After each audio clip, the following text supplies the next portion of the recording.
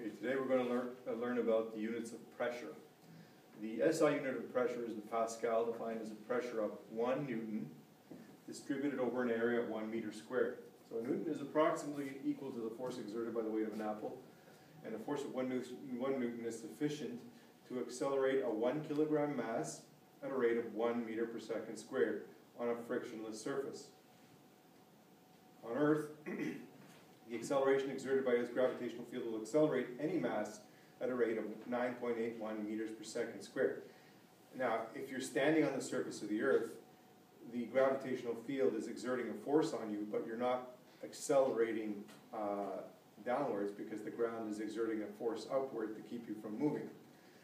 But you are nevertheless exerting a force by, because you're in that gravitational field.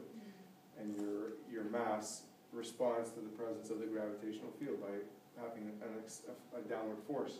The force exerted upon objects on the surface of the Earth is a function of mass, too. More massive objects exert more force. And F is equal to ma. Force is equal to mass times acceleration, where the force is, uh, has units of newtons, the mass is measured in kilograms, and the acceleration is in meters per second squared. The base units of force, therefore, are kilogram meters per second squared. Um, and that is what we call the Newton.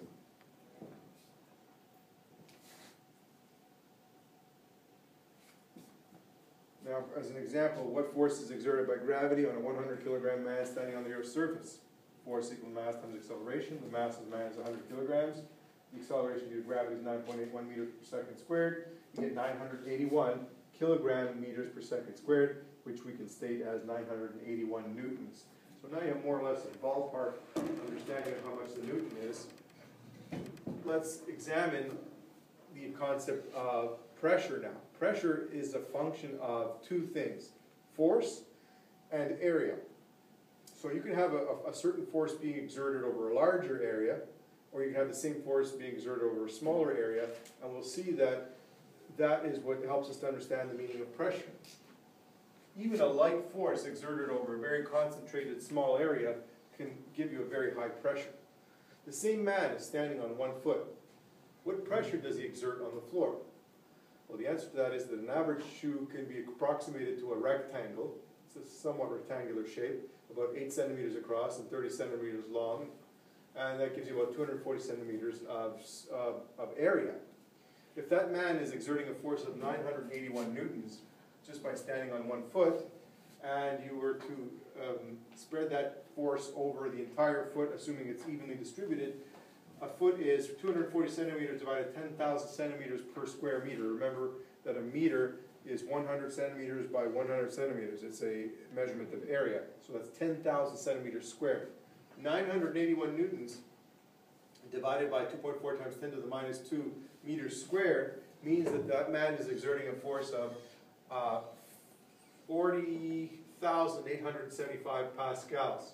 We can convert that into kilopascals. We're that 1 kilopascal is equal to 1,000 pascals, and that equals 40.875 kilopascals.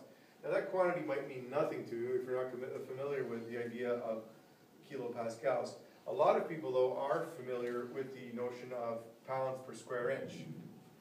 Our atmosphere exerts a pressure of 14.7 pounds per square inch, and I've stated that quantity in all the commonly used units. One atmosphere, meaning the pressure that we feel at the bottom of the Earth's atmosphere, which is an ocean of air essentially, that's the pressure we feel at sea level, one atmosphere.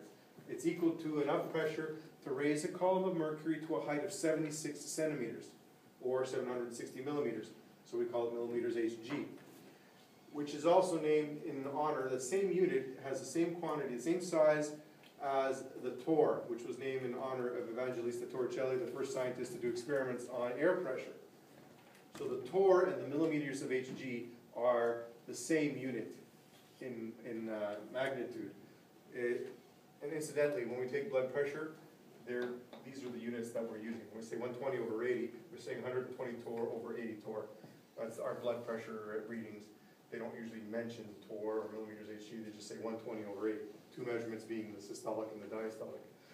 Uh, pascals, again, is a pressure of one Newton air distributed over an area one meter squared. You see that one atmosphere of pressure is a huge number of pascals because the pascal is a very small unit. So hundred and one thousand three hundred twenty-five pascals equals one atmosphere. If you use kilopascals, it's one, one point three two five, you simply move the decimal place three over. That's equal to a pressure of fourteen point seven pounds per square inch, or enough pressure to raise a column of mercury, which is twenty-nine point nine two inches, which is the same as seventy-six centimeters.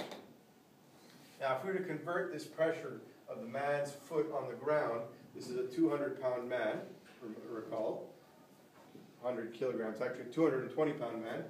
Uh, if we convert that pressure of his one foot on the ground into torr, all we have to do is take any one of the two quantities we want to convert, so in this case torr and kilopascals. We see that seven hundred and sixty torr equals hundred and one point three two five kilopascals. We want to eliminate kilopascals, so we'll put kilopascals in the denominator, allowing us to cancel kilopascals and convert this pressure into torr, and it equals three hundred and six torr. If we want to convert it into pounds per square inch, we do the same thing. Fourteen point seven pounds per square inch is equal to one hundred and one point three two five kilopascals. Again, we put kilopascals in the denominator because we want to be able to cancel it and get our answer or quantity into pounds per square inch. So it's five point nine two pounds per square inch. So a two hundred and twenty pound man standing on one foot it exerts about five, about six pounds per square inch on the sole of his foot, assuming that the weight is even, evenly distributed. If we convert it into atmospheres, one atmosphere equals 101.325 kilopascals. Again, we can cancel kilopascals, giving us 0.403 atmospheres. Now I want you to pay attention to a interesting fact.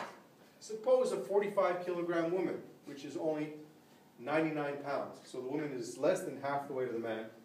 Suppose a 45 kilogram woman wearing stilettos leans back so all her weight is momentarily on one heel, which is one centimeter by one centimeter, it's about that big on a stiletto. What pressure does she exert on the ground? F equals ma. Here's the 45 kilograms of a woman. Here's the acceleration due to gravity. Her mass, sorry, her force, the force that gravity pulls her down with is 441.45 newtons. Now we know that the definition of pressure is the force divided by the area upon which the force is impinging on. So 445, 441 newtons over one ten thousandth of a square meter, one centimeter squared. Remember, a, square meter is 100 meters, 100 centimeters by 100 centimeters, 100 by 100 is 10,000. So 10,000 square centimeters in one meter squared. That's why I've turned this into one ten thousandth of a meter squared. That's what it equals. One centimeter squared is one ten thousandth of a meter squared. So that force over that small area gives you a force of 4.4 million pascals, which, when you convert it into pounds per square inch, is 640 pounds per square inch. So in conclusion, a small war, woman wearing high heels exerts more than 100 times the pressure exerted by a husky man, albeit over a much smaller area. So if she's pressing that 600 pounds per square inch is on the area that is touching under her stiletto. So it, it is theoretically possible for a light woman wearing stiletto heels to put dents in the floor, if, especially if the heel has a hard, uh, a hard tip. Now, as an example, as a practice example, I'd like you to try to convert hundred pounds per square inch into millimeters Hg, the torr, and the atmosphere. And I'll give you the solution to that right now. Supposing we start with hundred pounds per square inch. And we wanna go from, uh, pounds per square inch into H, into millimeters Hg. We see over here that seven hundred and sixty millimeters Hg is equal to fourteen point seven pounds per square inch. So we can say, we wanna eliminate the pounds per square inch, times seven hundred and sixty millimeters Hg divided by fourteen point seven pounds per inch squared. The pounds per inch squared cancels, and the answer will be one hundred times seven hundred and sixty divided fourteen point seven. The answer we get on the calculator is five point one seven zero zero six eight zero three times ten to the three millimeters of mercury.